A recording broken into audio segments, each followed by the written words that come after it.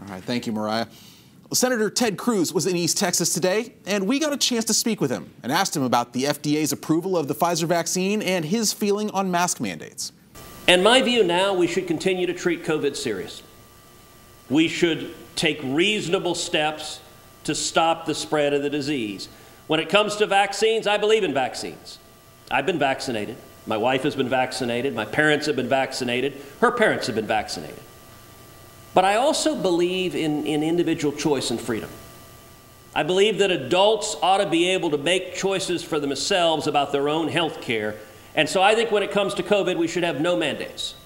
That means no vaccine mandates. That means no mask mandates. That means no vaccine passports. And tune in to CBS 19 News at 6 for more from Senator Cruz. All right, weather-wise, we pointed out earlier, it was 96 today in Tyler, just a little bit above average.